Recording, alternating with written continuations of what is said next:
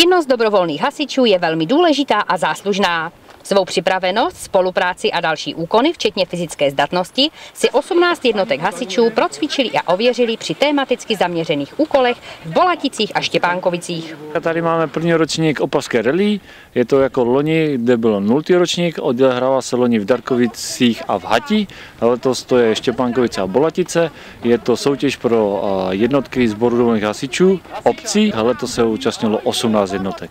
Během celého cvičení čekalo na frekventanty pět stanovišť. Tam rychle, pojďte hned! Tam, tam, Jedním z nich byla simulovaná záchrana člověka, který se ocitl v bezprostředním ohrožení života.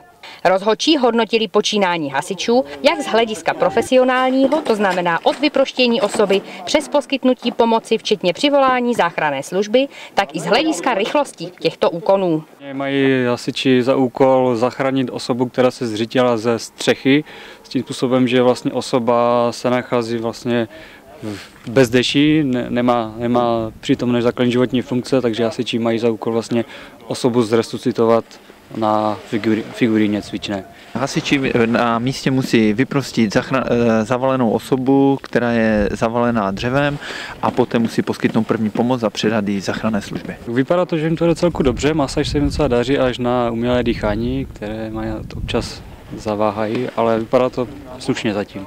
Některé jednotky jsou u tohoto zasahu poprvé, setkali se s tím poprvé, ale většinou jim to jde a snaží se ten, tu mimořádnou událost zvládnout. Teď se nacházíme na Albertovci, kde se koná jedna z částí eh, hasičské eh, soutěže. Ne, to není soutěž, je to, je to cvičení hasičské a, a má to nasměrovat hasiče k tomu, aby si prožili eh, zásah reálný. Dalším úkolem byla manipulace s hadicemi, což v mrazivém dni nebyl jednoduchý úkol. Na prvním stanovišti, co je tady na Bartošovci, tak je taková štafeta 4x něco metrů, kde musí natáhnout hadice, uhasit požár, reálný požár, musí vylézt na lešení, vytáhnout barely, tady to je spíše na tu fyzičku. Potom další stanoviště je test požární ochrany, kde vyplňují test, který se skládá z 30 otázek. A potom jsou ty nejzajímavější stanoviště a jsou to tři bojové rozvinutí, ať už dopravní nehoda, vyhledávání osob nebo požár klasický jako takový.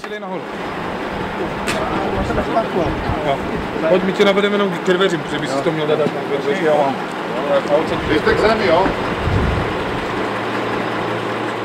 Stejně tak jako i zdolávání překážek a další fyzicky namáhavé činnosti, které dobrovolní hasiči vykonávají při svých zásazích. Co se týká samozřejmě připravenosti, je to různé, ale ve všechny jednotky, které se tady přihlásily, tak se připravují na tu soutěž. Opravdu je jak ta fyzická zdatnost, tak i ta znalost jakoby, různých zásahů a taktiky není na špatné úrovni. Samozřejmě vždycky to může být lepší. Všechno je nahrané, ale ve skutečnosti, jak jsem si projel jednotlivé Eh, stání, tak to vypadá dosti reálně.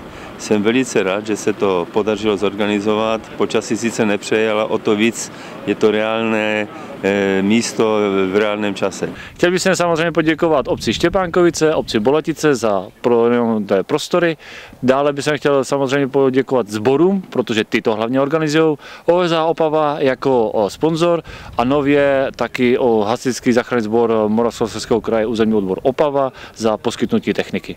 Děkuji hlavně Vojtovi Feherovi, hasičovi ze Štěpánkovic, momentálně žijícího v Kobricích, ale je to Štěpánkovický, za to, že tu, tu akci zorganizoval a že dal dohromady 20 hasičských jednotek, které se dnešního dne zúčastní.